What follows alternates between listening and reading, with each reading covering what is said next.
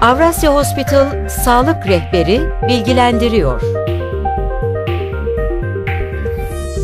Hiçbir şey insan ve sağlık kadar önemli değildir. Kansızlık yaz aylarında görülen hastalıkların başında e, kansızlığın nasıl e, belirtisi ön plana çıkıyor?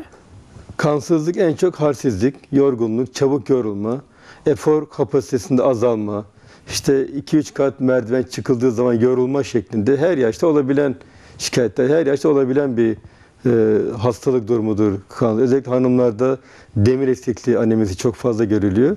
Yazın sıcaktan artışla beraber bu şikayetlerde daha fazla artış meydana geliyor. Avrasya Hospital Sağlık Rehberi bilgilendiriyor.